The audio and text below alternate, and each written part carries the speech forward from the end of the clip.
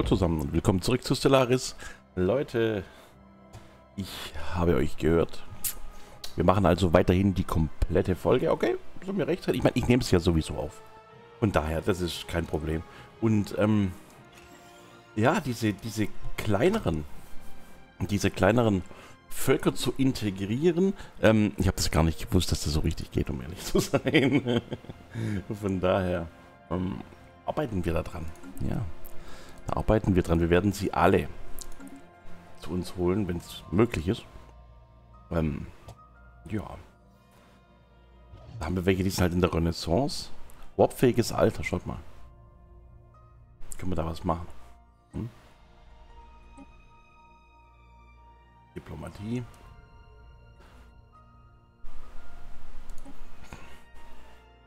Ja, die wollten immer einen Observationsturm haben. Das haben wir schon gehabt. Na?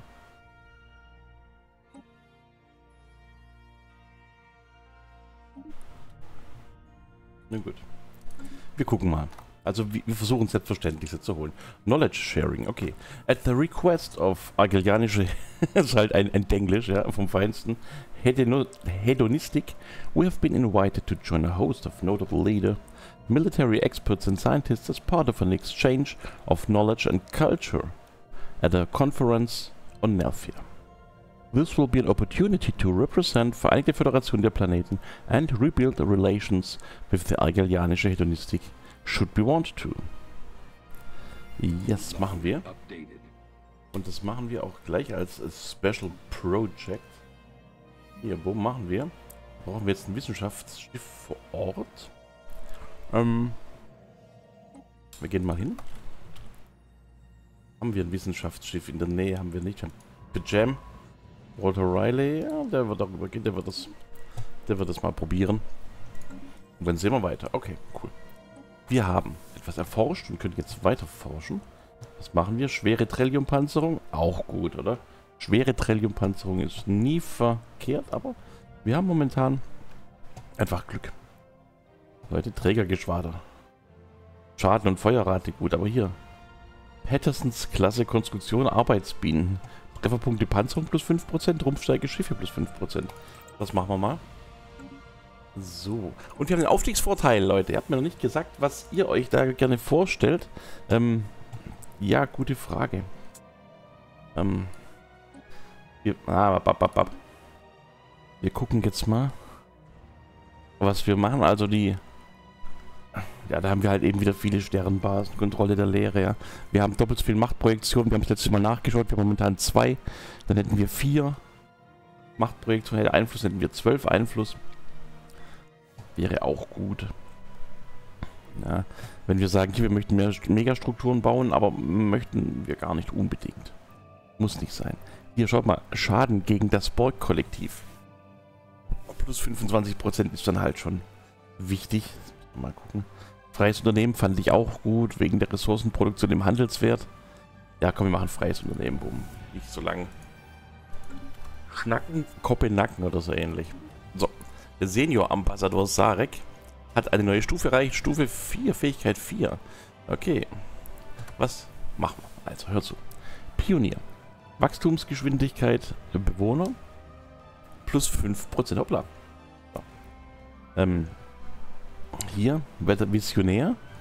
Da kriegt der Unterhaltbewohner minus 5%. Reichsweit, ja. Handelswert plus 5% und Bewohnung von Dienstleistungen minus 5%. Gut. Und ähm, Gesandter, also Diplomat quasi, Ambassador.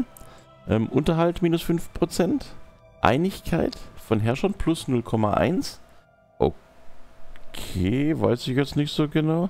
Unterhalt Gebäudedistrikte minus 20%. Äh, Gebäude und Distrikte minus 20%. Auch nicht schlecht eigentlich, oder? Aber, äh gut, er ist 118. Er ist 118, Leute. Weißt du so genau, er ist 118. Okay. Ich fände halt diesen Erfahrungszuwachs Anführer. Fände ich halt mega stark. Ja. Für ihn jetzt persönlich natürlich. Ja. Komm. Er ist Pionier. Auch wenn wir jetzt ihn als Ratsmitglied hätten, dann hätte er reichsweite Fähigkeiten. Wäre wahrscheinlich stärker gewesen. Ist egal. Ich fand es gut. So. Ähm, ich frage mich, wir haben doch Wissenschaftsschiffe gebaut, oder? Haben wir wohl nicht gebaut. Na gut.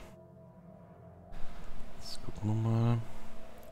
Weiß halt nicht, wo die Borg kommen würden. Wir kennen ja jetzt hier schon alles, ja. Die Ecke hier oben kennen wir halt noch nicht. Außer der Worth-Theokratie. Bis zur Karremann-Stiftung. Ja, das die Kachel Kachelmann-Stiftung. Spätzle. Ja, komm. Wir könnten mit den Jod-Aliens könnte man erst Kontakt mal machen. Die Fendomar-Domänen. Ja, wir, wir könnten außerdem auch mal wieder reinschauen, wie es mit unseren Bekanntschaften aussieht. Guck mal, da gehen wir eigentlich immer ein bisschen nach den Planeten.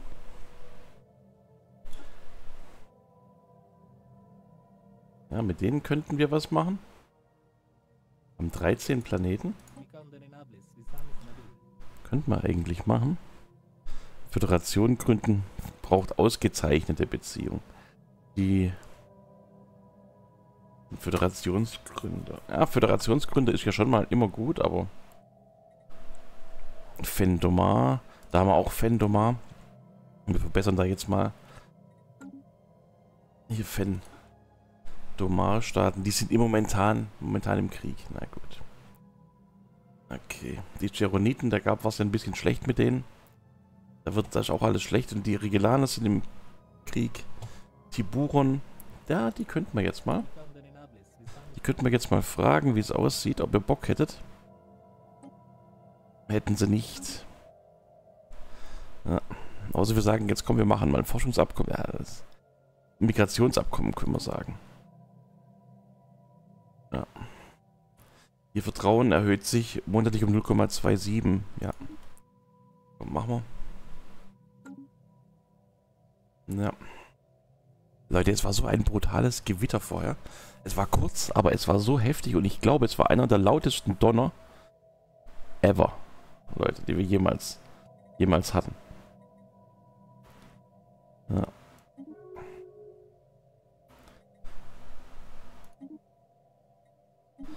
Ja, komm. Steve Buchanan diente dem Reich für 66 Jahre. What? Steve Buchanan.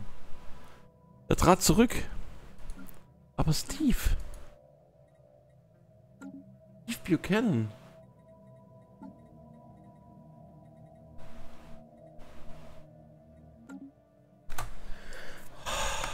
Gestorben oder was? Oder kommt jetzt irgendwas noch?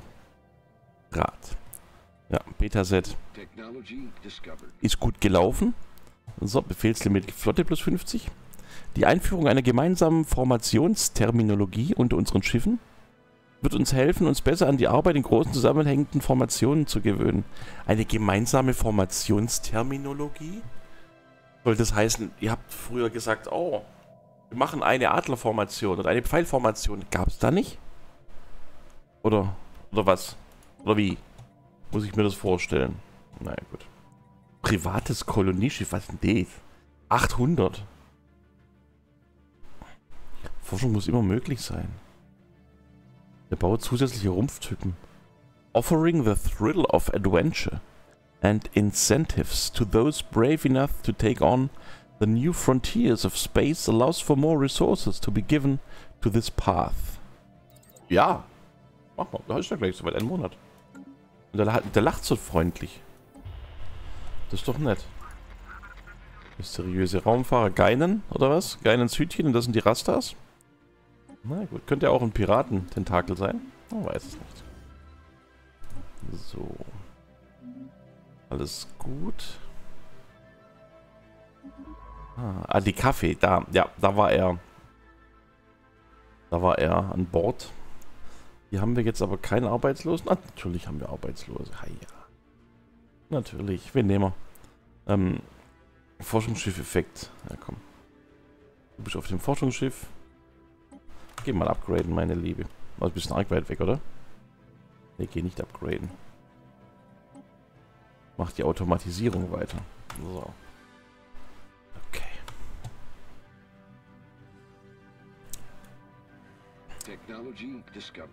Läuft soweit. Sieg, wir haben gewonnen. Die Brien, das ist schon lange her. Also Brien haben wir den letzten Kampf gesiegt. Die waren hier, da haben wir gar nicht so viel gemacht. Wir haben hier ihre, die Lurianer haben wir eingenommen hauptsächlich. Komischerweise.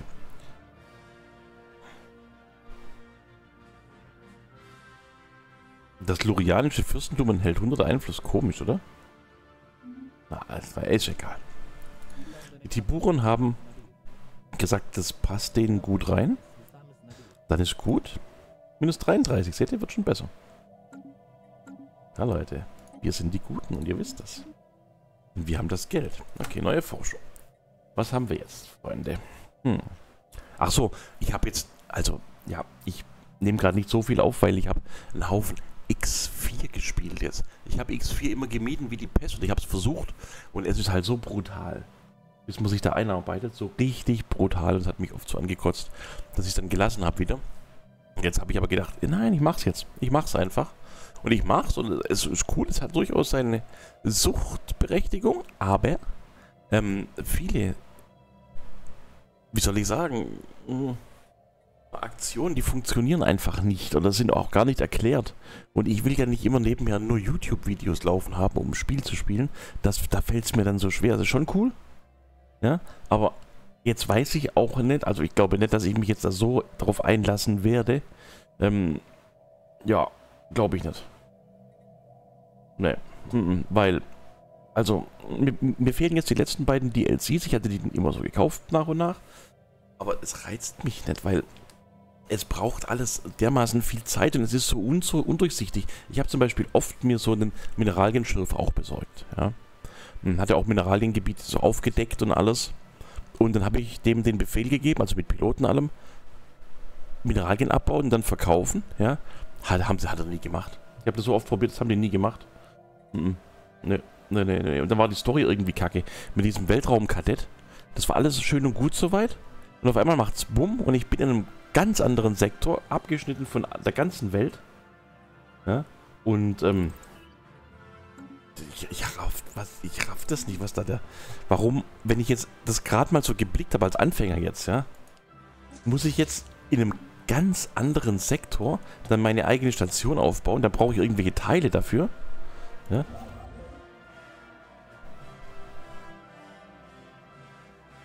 Ah, er geht nach, er geht nach Cloud Nebula, okay. Ja, und, und das war mir alles, das war blöd. Sorry, ich muss echt sagen, das war, das ist der Abtörner jetzt für mich gewesen. Ähm, genau, und dann halt, wenn da nicht gespeichert wird, ja, ähm, ist auch blöd. Also, keine Ahnung, ich werde mir Dinge angucken, Elite Dangerous noch. Ja, ähm, ja, aber vom Prinzip her ist X4 perfekt, ja. Das ist ja quasi wie eine, wie eine Art EVE Online, ja. Du kannst handeln, du kannst äh, alles Mögliche machen, da irgendwelche Relikte oder sowas finden und, und, und, öffnen und du kannst Bergbau betreiben. All die Sachen, die man in EVE Online auch machen kann aus der Ego-Perspektive und halt dein eigenes Imperium aufbauen. Ja, das sind alles Sachen, die dermaßen toll sind. Die sind richtig gut. Aber ja, sorry, es tut mir echt leid, die Umsetzung ist halt einfach blöd. Ja. So, jetzt haben wir hier Brad Anderson gerade eben bekommen. Den könnten wir jetzt als Admiral einstellen. Genau. Ähm, Speer. Und Aggressivität. Ja, komm, wir machen's. Wir nehmen ihn, wir weisen ihn aber auch zu. Noch Flotte.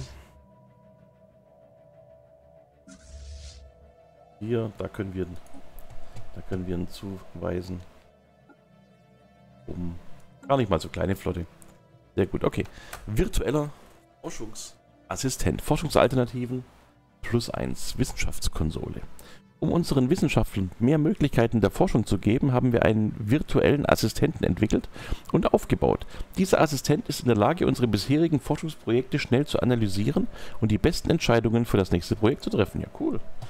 Also in unserem Fall, ähm, er sucht sich Entscheidungen raus und wir werden es dann schön selber ja, in Auftrag geben, was wir machen haben möchten und was nicht. Wir machen die Phaser Typ 3, Mark 3. Handelsrouten. Die lokalen Behörden auf Earth haben um zusätzliche Unterstützung gebeten, um ihren Export von Verbrauchsmaterial zu steigern. Wir sollten ein Team entsenden, das die Handelsrouten sichert und die Produktion von Vorräten auf dem Planeten verbessert.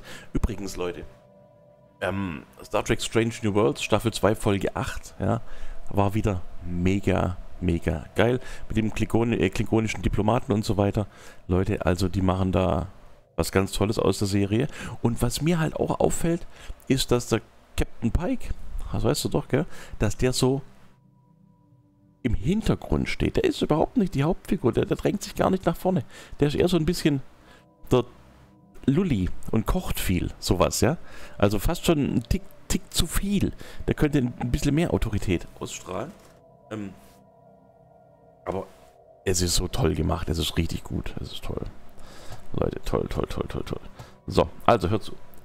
Team Wissenschaftler, Team Admiral, Bautrupp, ähm, Jo, ne, wir machen. Wir machen Admiral, weil Admiral haben wir halt auch schon. Haben wir halt auch schon dort.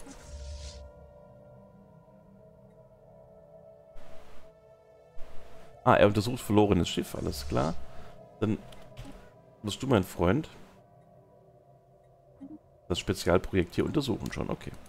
Erstkontaktereignis ausstehend. Schwer fassbare Fremde. Mhm. feindlich. Na, blöd. Die J-Aliens sind feindlich. Jo. Ah, hier oben ist, ist nur unsere Truppe übrigens.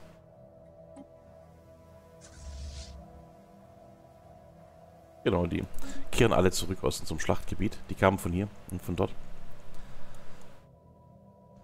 Mal gucken, wie, wie groß es ist. Es ist schon richtig groß.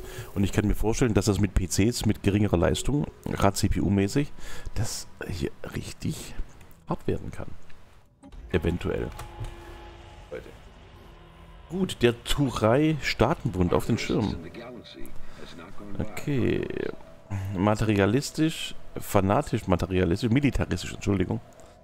Okay, okay, okay, okay. Na dann meine lieben Freunde.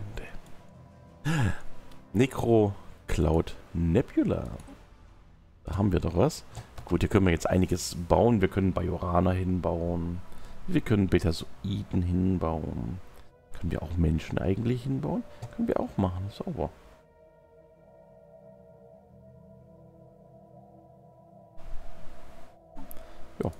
Machen wir doch wieder mal eine menschliche Kolonie draus. Fände ich jetzt nicht verkehrt. Und da haben wir Trellium D. Nimm mal die... Oh, Trellium D, drei Stück. Ist jetzt nicht schlecht, um ehrlich zu sein. Ja. Warte. Wir müssen mal gucken. Trillium D plus 1. Dann hätten wir... Verkaufen wir Trillium D? Können wir Trillium D verkaufen? Ja, wir haben Trillium D, aber wir verkaufen keins.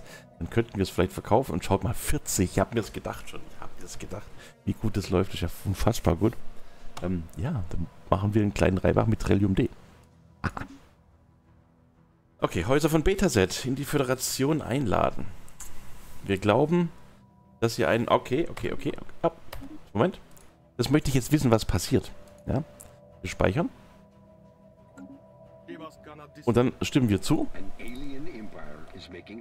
Stopp. Und was passiert jetzt? Wir sind jetzt im Pan-Galactic Pakt. Das sind die Betasoiden. Alle mögen uns. Wir sind die stärksten. Flottenmäßig richtig stark. Technologisch, ey. Das ist ein Witz. Ähm. So. Und können... Jetzt, jetzt, wir spielen mal ein bisschen und gucken, ob es da auch diese Ratsgeschichte gibt. Das müssen wir halt wissen ob wir sie nach und nach eingliedern können. Okay. Das müssen wir halt wissen. Das wird uns weiterbringen dann. Okay, knowledge sharing. Despite the best efforts of the hosts, there was little Hu Deng found to be of any real benefit. Ähm, schon klar. Also, die profitieren ja von uns, so sollte es ja auch sein. However, pleasantries were upheld and useful contacts made. So it was not a complete waste of time. Norkadianische Harmonie. Mhm. Sieht alles gut aus soweit. Finde ich spitzenmäßig. Abgegradet sind wir auch. Ja, Leute, es läuft wie unsere schon mal. Na gut, auf einmal haben wir wieder minus Energy Credits. Ja. Ah, er untersucht das verlorene Schiff. Komm, ich trinke ein Stückchen, dann gucken wir, was passiert. Hm. Oh je. Der Schwarm. Beim Eintritt in den Orbit von Altamid entdeckt die Vereinigte Föderation der Planeten unter Kapitän Daniela Riveros. Das ist Malcolm Reed. Aber vielleicht habe ich mich jetzt irgendwie getäuscht. Naja, Daniela Riveros, okay. Daniela Riveros? Und, äh. Daniela Riveros ist die Premierministerin? Okay. Also da stimmt was nicht ganz. Ähm, das wie ein Schiff von enormer Größe aussieht, das von anderen, von der anderen Seite des Planeten in Sicht kommt. Als sich, als sich die Form nähert, wird schnell klar, dass dies tatsächlich äh, das sieht, ich kann nicht lesen, dass sie tatsächlich aus hunderten kleinerer Schiffe besteht, die in enger Formation fliegen. Ein Signal wird vom Schwarm gesendet. Es ist Kapitän Kara Putapa, die vor Jahrzehnten mit dem Raumschiff Franklin verloren geglaubt wurde. Yes. Die Gesichtszüge von ihr sind verdreht und die Sprache undeutlich. Als sie eine Drohung an die Vereinigte Föderation der Planeten schreit und Rache schwört, weil sie die Crew von ihr und ihr auf dem Planeten verlassen hat, Altamid unten mit einer Flotte uralter Drohnen, die auf der Welt begraben wurden. Ähm, ja. Die muss gestoppt werden. Jetzt stopp. Ah, wir haben ganz ordentlich. Wir könnten es sogar eventuell schaffen. Aber das ist nicht sicher. Ja gut, er macht die Versorgungsoperation, da ist gerade blöd. Irgendjemand anders da, der kommen könnte? Niemand in der Nähe. Na dann, okay. Melk. Nicht der Ernst, Leute. Warte. Nicht der Ernst. Malcolm Reed rescued from destruction. Malcolm Reed in jeder einzelnen Schlacht, in der er teilnimmt. In jeder Botschafter-Tagung, in der er teilnimmt, ging immer schon in die Hose. Wo ist unsere Flotte hin? Komplett vernichtet oder was? Was war das für ein Kampf? Ist das ein Witz jetzt? Nach der Niederlage von Enfleet durch Alter Mitzwarm haben Analysten von Earth eine Schlüsselschwäche in der Ko Koordination des Schwarms identifiziert. Eine Übertragung mit hoher Amplitude könnte den Schwarm theoretisch vollständig zerstören. Scheiße. Was für ein Kampf war das denn? Haben wir auch ein bisschen Schaden gemacht? Ja, wir haben schon Schaden gemacht. Und die haben uns halt weggemacht. Mal geschwind. Die hätten den Malcolm Reed einfach... Ja gut, er ist halt Held. Da haben wir doch einen Held. Den hätten wir doch auf 5 Jahresmission schicken können, oder? Naja, den hätten wir auf jeden Fall, sag ich mal. Ne, wir, wir haben einen Wissenschaftler und Forscher gebraucht, der Held ist. Ähm, ja, die hätten ihn, an ihn abschießen sollen, Leute. Ganz einfach. Jetzt hört zu, wir müssen neue Schiffe bauen. Was macht denn das private Kolonieschiff? Was ist denn das? Serenity-Klasse. Verstehe ich gar nicht. Kolonieschiff, okay. Privates Kolonieschiff. Ich verstehe den Sinn nicht. Was macht das private Kolonieschiff? Weiß das jemand von euch? Wäre mega interessant, Leute. So, schwerer Kreuzer 4. Föderationsklasse bauen wir einen. Bauen wir davon welche und auch ein paar, paar leichte Kreuzer, oder?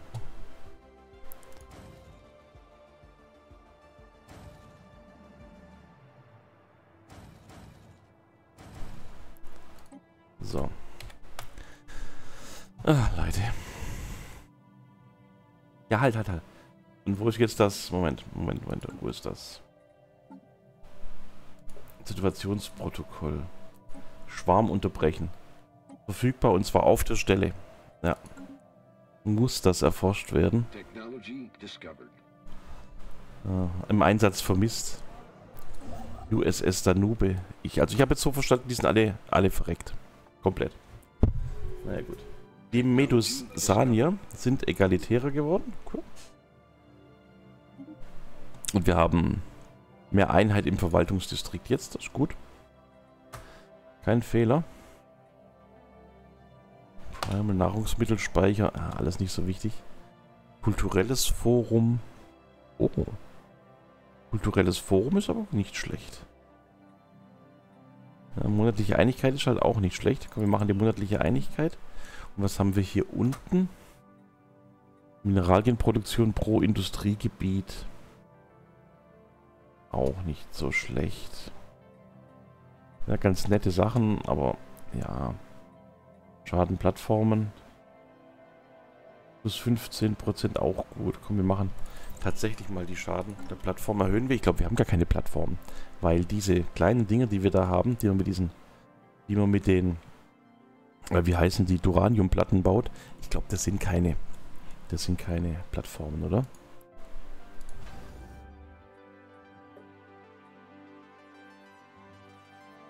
Verteidigungspot.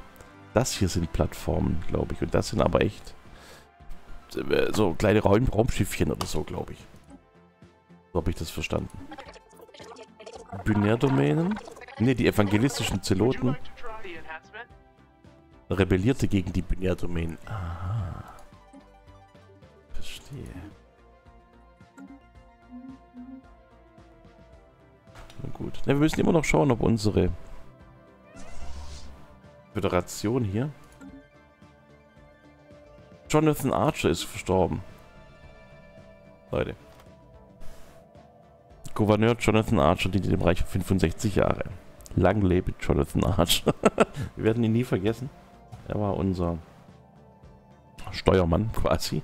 Ne, der hat die erste Enterprise NX-01 äh, kommandiert und ähm, hat auch eine Rolle gespielt im Angriff, als die Erde zur Hälfte weggebombt wurde.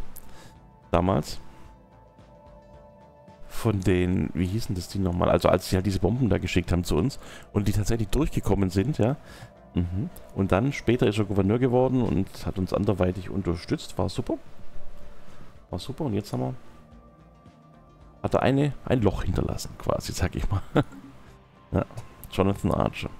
Schade. Na gut. Jetzt haben wir keinen... Auf der, auf der Erde haben wir jetzt kein Anführer. Hm.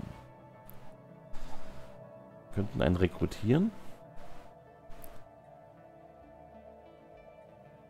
Ah, entweder hier. Von uns oder von, vom Tagra 4 Sektor. Eine Mitgliedsfeld der Föderation. Die wäre Botschafter. Vermuteter Waffenhändler. Okay, ja, nicht ganz so gut. Er wäre auch Botschafter. Er ist 37, sie ist 27. Dann nehmen wir sie von der Mitgliedswelt. Gottwe Polus wird das hier übernehmen. Okay.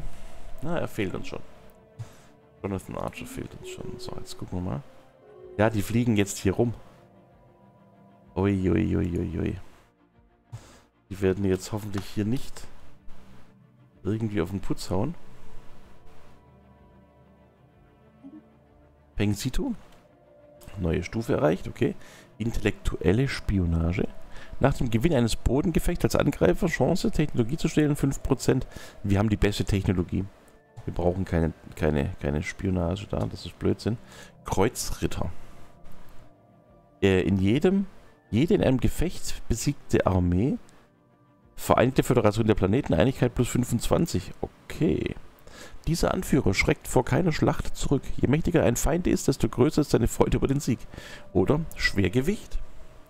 Armeeschaden plus 10%. Okay. Dieser Anführer setzt darauf, Bodenschlachten mit totaler Dominanz zu gewinnen. Wir machen Kreuzritter. Komm. Ja. Habe ich halt nur echt Angst, die kommen da runter. Das könnte blöd werden. Romulaner gegen Bullianer Krieg. Guck mal. Andorian. Die kommen jetzt, möchten sich wehren, da wird nicht viel laufen. Bringt doch die Dinger hier raus. Eieieiei. Gar keine Chancen. Ja, also die haben doch ein bisschen abgenommen, aber eigentlich wurden unsere Leute nur zerfetzt.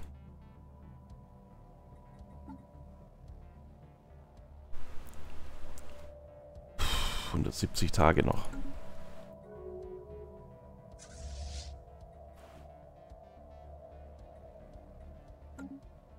Achso, stopp.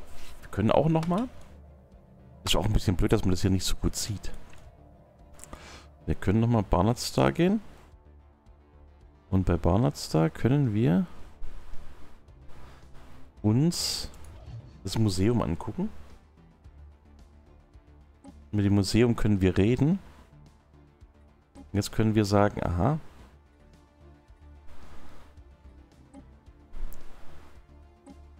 Wir möchten wieder was in Betrieb nehmen.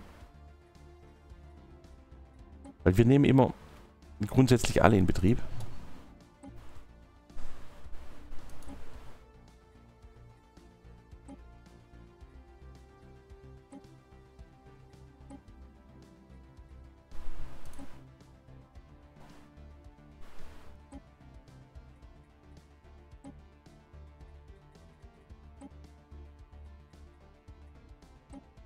Wir haben ja auch schon alles. Oder?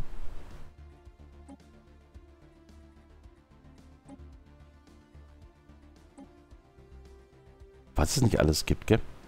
Eine Flotte einmodden. Ah, Walter Riley, Liste bearbeiten. Ja, komm. Die sind die Arboreal Fleet. Die modden wir ein.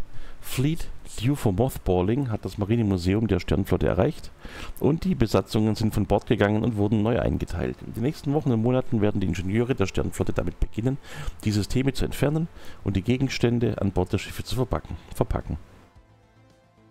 Motte die Flotte ein. Ja, die, pf, ja, das ist rum, das ist nicht mehr relevant und genauso kann ich mir vorstellen, dass andere Sachen auch nicht mehr so relevant sind. Ähm, zum Beispiel, keine Ahnung, dass irgendwelche Raumschiffe einfach, oh, wieder hier rumfliegt. Dass manche Sachen nicht mehr so abgegradet werden können, dass sich's rentiert. 10.000.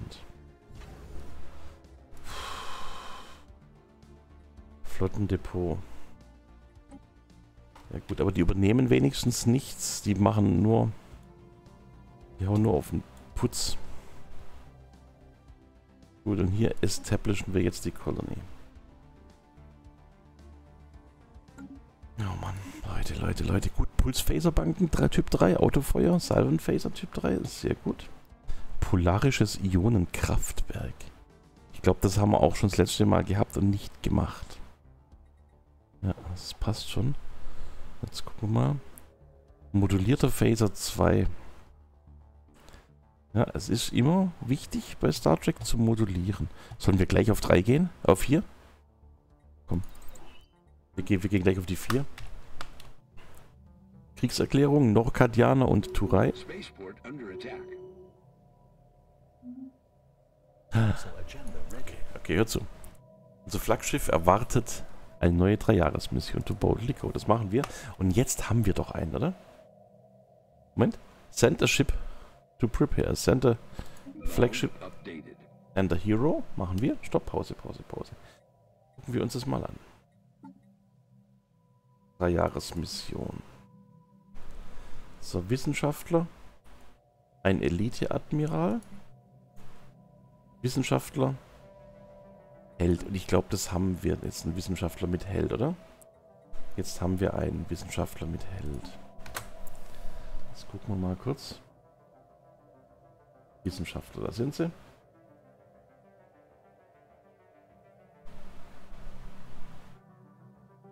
Robert April, das ist er. Okay, das ist er. Und was brauchen wir noch? Ähm, wir brauchen unser Forschungsschiff, wir brauchen die Enterprise, oder?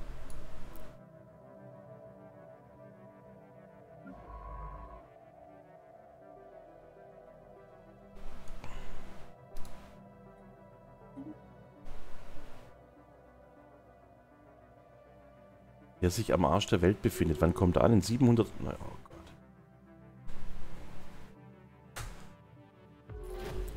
Jetzt kommt er in 700 Tagen zurück. Auch wieder geil, oder? 900 Tage haben wir Zeit.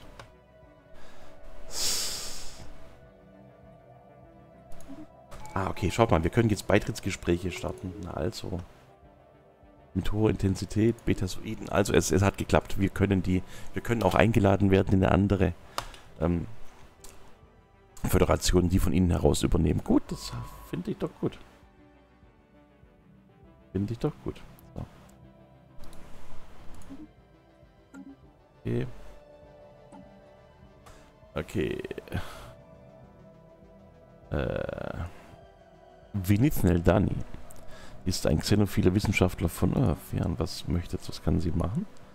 Ähm, Archäologe. Es gibt ja keine archäologischen Städte, da fällt das schon mal weg. Ähm, Forschungsgeschwindigkeit Anomalie fällt ja auch weg in gewisser Weise. Das ist Blödsinn, oder? Habe zumindest noch nicht erlebt, dass wir was in der Richtung gehabt hätten. Flottenkampfstatistik. Naja, gut. Ratsagenda ist bereit, sich entwickelnde Gesellschaft. Jawohl. Monatliche Einigkeit plus 40%. Was machen wir jetzt? Beziehungen aufbauen. Oppose the Borg. Aha. Anfänglicher Schaden gegen das Borg-Kollektiv plus 10%. Hm. Wir kennen noch keine Borg. Von daher...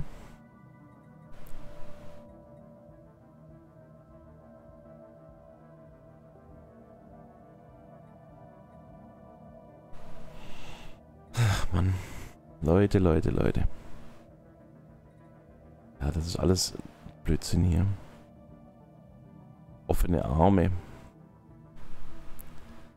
Ja.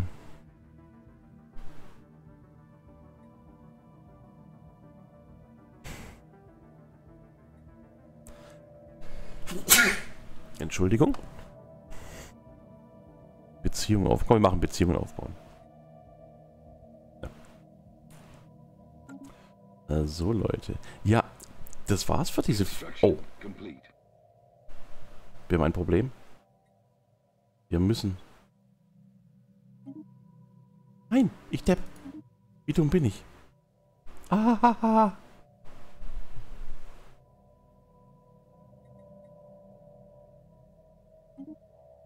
Ja, wir müssen Verbrauchsmaterial verkaufen. Okay. Leute, ey, falschen Knopf gedrückt, ist mir schon mal passiert. Das ist so ärgerlich. Blöd. Naja, gut.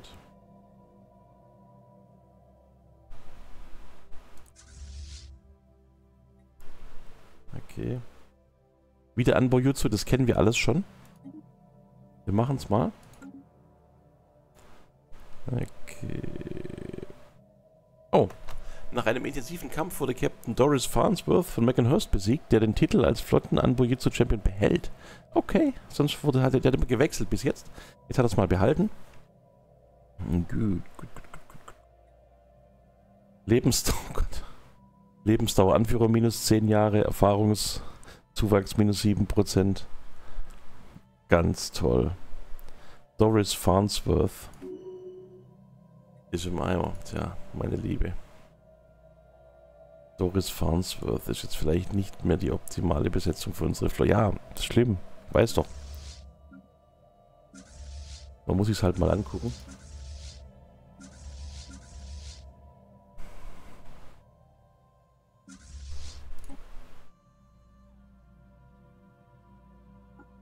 Geh einfach mal an Bord von dem hier. Das passt dann schon. Ja, dumm gelaufen. Der Schwarm. So, jetzt hör zu. Wissenschaftler auf Earth haben erfolgreich eine Signalmodulation und Frequenz identifiziert, die die Koordination des Altamid-Schwarms stören wird. Er wird nun bei allen zukünftigen Begegnungen mit dem Schwarm eingesetzt. Jawohl, Schaden plus 200 Prozent. Oh.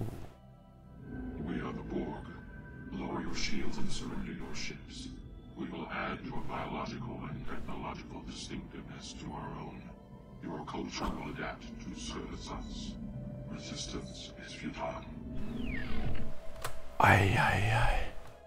Wir sind die Borg. Senken Sie Ihre Schilde und ergeben Sie sich. Die Existenz, wie Sie sie kennen, ist vorbei. Wir werden Ihre biologischen und technologischen Charakteristika den unseren hinzufügen.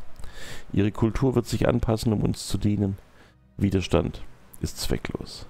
Wir werden uns nicht ergeben. Wo sind die Borg?